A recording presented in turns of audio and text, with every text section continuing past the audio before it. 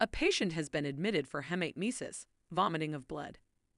Endoscopic examination reveals bleeding esophageal varices resulting from portal obstruction.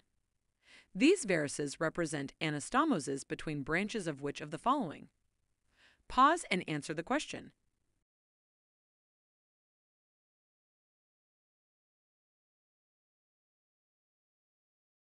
Obstruction of the portal vein results in an increase in the collateral circulation between veins that normally drain to the portal vein and those that drain to the systemic veins.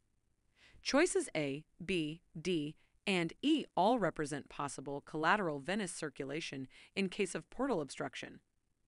Choice is rare because the ductus venosus closes after birth.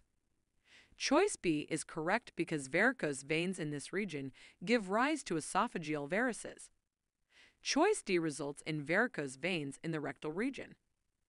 Choice C is incorrect as there is no connection between the right gastric vein and the inferior vena cava. In choice E, enlargement of the epigastric veins results in varicose veins radiating from the umbilicus.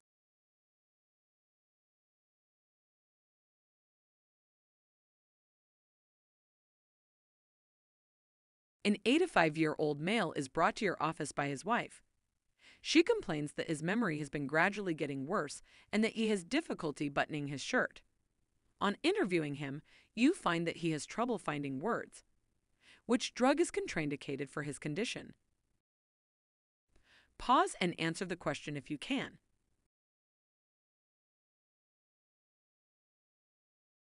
Here, the correct answer is benztropine. This patient has symptoms consistent with Alzheimer's disease. He has memory impairment, apraxia, and difficulty finding words. Drugs given to delay the progression of disease are cholinesterase inhibitors, donepezil, rivastigmine, galantamine, and NMDA antagonists, memantine. Benztropine is a muscarinic acetylcholine receptor antagonist. Although Parkinson's disease is not well understood, it is clear that benztropine should not be used in conjunction with any of the cholinesterase inhibitors.